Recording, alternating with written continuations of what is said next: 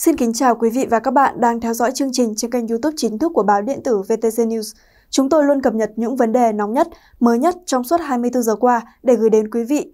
Sau đây là nội dung chi tiết. Sau khi một giáo viên bị bắt vì bán ma túy, Bình Phước nhanh chóng có chỉ đạo tăng cường công tác phòng chống ma túy trong học đường.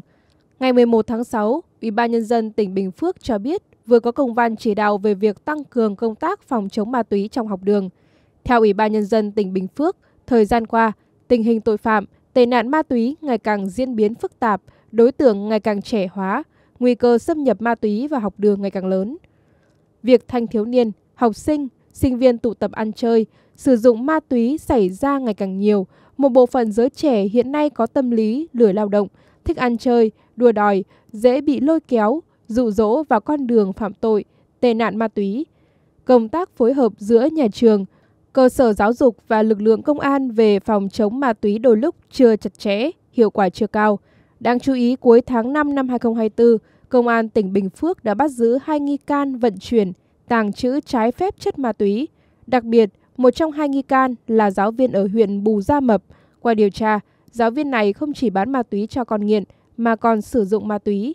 Công văn nêu rõ, đây là hồi chuông cảnh báo về nguy cơ ma túy có thể len lỏi vào bất cứ đâu, lôi kéo bất cứ thành phần nào trong xã hội, từ đó đặt ra các yêu cầu về phòng chống ma túy, xâm nhập vào học đường ngày càng bức thiết. Ủy ban Nhân dân tỉnh Bình Phước cũng đã đề nghị Sở Giáo dục Đào tạo, Công an tỉnh cùng các địa phương tăng cường tuyên truyền phòng chống ma túy cho cán bộ, giáo viên, học sinh, sinh viên và các bậc phụ huynh về hậu quả, tác hại của ma túy, đặc biệt ma túy tổng hợp và ma túy núp bóng các loại thực phẩm như bánh kẹo, đồ uống, thảo mộc, thuốc lá điện tử vào các chương trình giáo dục hoạt động ngoại khóa. Xây dựng mô hình trường học không ma túy, chủ động phòng ngừa tội phạm và tệ nạn ma túy xâm nhập vào học sinh, sinh viên để góp phần phòng ngừa tội phạm và tệ nạn ma túy, phối hợp xây dựng, nhân rộng và phát huy hiệu quả các mô hình phòng chống ma túy tại địa bàn cơ sở. Theo Công an tỉnh Bình Phước, tính từ đầu năm 2022 đến giữa tháng 3 năm 2024, tổng số người được xác định tình trạng nghiện là 1.420. Lực lượng chức năng đã phát hiện, xử lý 60 trường hợp sử dụng ma túy điều khiển phương tiện tham gia giao thông, một vụ việc người sử dụng ma túy có biểu hiện loạn thần ngáo đá, giết người khiến một nạn nhân tử vong. Cũng trong giai đoạn này, lực lượng chức năng đã phối hợp bắt giữ 783 vụ với 999 đối tượng, thu giữ 47,39 kg ma túy tổng hợp, 7,6 kg heroin và 1,8 kg ma túy tổng hợp, 13 khẩu súng. Chiều ngày 11 tháng 6, Tòa án Nhân dân tỉnh Khánh Hòa tuyên án đối với 18 bị cáo trong vụ án đánh bạc đưa hối lộ, nhận hối lộ liên quan đến một sòng bạc ở thành phố Nha Trang. Tòa án tuyên phạt bị cáo Lương Tiến Quân 4 năm tù về tội nhận hối lộ, phạt bổ sung 50 triệu đồng. Quân là cựu phó phòng 4 Cục Cảnh sát Hình sự Bộ Công an khu vực phía Nam. Tòa tuyên phạt Nguyễn Minh Hải, 51 tuổi, ngụ thành phố Hồ Chí Minh, người cầm đầu sòng bạc, 5 năm 6 tháng tù về tội tổ chức đánh bạc và 2 năm tù về tội đưa hối lộ. Tổng án phạt Hải phải chấp hành là 7 năm 6 tháng tù. Bị cáo phải nộp hơn 3,8 tỷ đồng thu lợi bất chính vào ngân sách nhà nước. 16 bị cáo còn lại bị tòa tuyên phạt từ 1 năm 3 tháng đến 9 năm 9 tháng tù về các tội tổ chức đánh bạc, đưa hối lộ, đánh bạc, nộp lại hơn 900 triệu đồng. Hội đồng xét xử cho rằng hành vi của các bị cáo gây nguy hiểm cho xã hội, trực tiếp xâm phạm đến trật tự công cộng, gây mất an toàn đến địa phương. Trong đó, Lương Tiến Quân với tư cách là Phó phòng 4 Cục Cảnh sát Hình sự phía Nam Bộ Công an là cơ quan có thẩm quyền điều tra tội phạm về trật tự xã hội nhưng lại có hành vi lợi dụng chức vụ, nhiều lần nhận tiền của Hải và đồng phạm để bỏ qua, không kiểm tra câu lạc bộ poker nên cần xử lý nghiêm. Một số bị cáo nhiều lần thực hiện hành vi tổ chức đánh bạc, trong đó Hải là người tham gia quản lý và cùng đồng phạm thành lập câu lạc bộ poker, tham gia góp vốn ngay từ lúc ban đầu nên cần có hình phạt nghiêm khắc. Bị cáo Hải cùng đồng phạm đã nhiều lần chuyển cho quân tổng cộng 420 triệu đồng và biết rõ mục đích của việc chuyển tiền là để cảnh sát không kiểm tra dòng poker hoạt động trái phép. Thực tế chứng minh, dù đã đi vào hoạt động nhiều năm, nhưng sòng poker này vẫn chưa bị kiểm tra. Cáo trạng do Viện Kiểm sát Nhân dân tỉnh Khánh Hòa công bố xác định, từ tháng 6 năm 2022, Nguyễn Minh Hải cùng đồng bọn góp vốn tổ chức câu lạc bộ poker dành cho khách đến đánh bạc. Tháng 9 năm 2020, Nguyễn Minh Hải nghe thông tin C02 đang có kế hoạch kiểm tra các địa điểm poker tại Nha Trang nên tìm cách liên hệ với Lương Tiến Quân nhờ giúp đỡ. Hai bên gặp nhau lần đầu hồi tháng 9 năm 2020 tại thành phố Hồ Chí Minh. Quân ra điều kiện phải chi tiền hàng tháng để câu lạc bộ chơi poker tại khách sạn C30 không bị Cục Cảnh sát Hình sự kiểm tra. Khi dịch bệnh COVID-19 bùng phát tại Khánh Hòa, Hải chuyển sòng bạc qua khách sạn Emerald Bay ở 100 trên 8 Trần Phú, phường Lộc Thọ, thành phố Nha Trang, mở 6 bàn poker tại đây và 6 bàn nữa tại khách sạn Boston ở số 6 Phạm Văn Đồng, phường Vĩnh Hòa. Giai đoạn này, Lương Tiến Quân yêu cầu Hải liên hệ qua người tên Hùng, chưa rõ nhân thân lai lịch để trao đổi thông tin cũng như chuyển tiền cho mình. Đến tháng 6 năm 2022, Hải góp vốn thành lập Joker Club tại khu đô thị Hà Quang 2, cũng dùng phương thức thủ đoạn như cũ để hoạt động mà không bị kiểm tra. Sau đó, Hải giao cho Nguyễn Đình Hoàng Long, ngụ thành phố Nha Trang quản lý vận hành. Tổng công ty Máy động lực và Máy nông nghiệp Việt Nam VEAM ngày 12 tháng 6 cho biết đơn vị đã nhận được thông báo của cơ quan cảnh sát điều tra công an thành phố Hà Nội về việc khởi tố bị can, lệnh tạm giam với ông Phan Phạm Hà, 49 tuổi, chú Hà Nội, tổng giám đốc VEAM về tội lợi dụng chức vụ quyền hạn trong khi thi hành công vụ theo khoản 3 điều 356 Bộ luật hình sự. Cùng ngày, VEAM thông báo Hội đồng quản trị bãi nhiệm chức vụ tổng giám đốc với ông Hà. Hiện sai phạm cụ thể của ông Hà chưa được công bố. Tổng công ty Máy động lực và Máy nông nghiệp Việt Nam VEAM hoạt động theo mô hình tổng công ty nhà nước.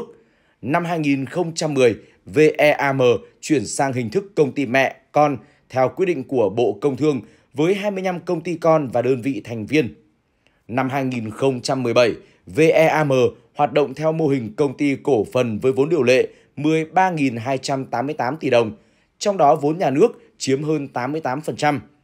Trước đó, tháng 10 năm 2023, ông Nguyễn Thanh Giang, cựu Tổng Giám đốc và Hồ Mạnh Tuấn, Phó Tổng Giám đốc VEAM bị khởi tố về tội vi phạm quy định về quản lý, sử dụng tài sản nhà nước gây thất thoát lãng phí. Ông Giang và Tuấn bị cáo buộc chỉ đạo mua 305 bộ khuôn dập cabin ô tô SV110 về rồi bỏ không, gây thiệt hại 27 tỷ đồng. Giữa năm 2022, hàng loạt lãnh đạo VEAM đã lĩnh án do sai phạm trong việc vay ngân hàng trái quy định, gây thiệt hại gần 183 tỷ đồng. Quốc hội vừa thông qua việc điều chỉnh chương trình xây dựng luật, pháp lệnh. Qua đó, ngay tại đợt 2, kỳ họp thứ 7 diễn ra trong ít ngày tới, Quốc hội sẽ xem xét điều chỉnh thời điểm có hiệu lực thi hành luật đất đai, luật nhà ở, luật kinh doanh bất động sản có hiệu lực từ ngày 1 tháng 8 năm 2024. Trả lời cho câu hỏi khi các luật này có hiệu lực sẽ tác động như thế nào tới thị trường bất động sản, đại biểu Quốc hội Phạm Văn Hòa, Ủy viên Ủy ban Pháp luật của Quốc hội cho biết, hiện tại Quốc hội mới chỉ chốt điều chỉnh chương trình và phải sang đợt 2 của kỳ họp thứ 7, Quốc hội mới xem xét và thông qua chủ trương này.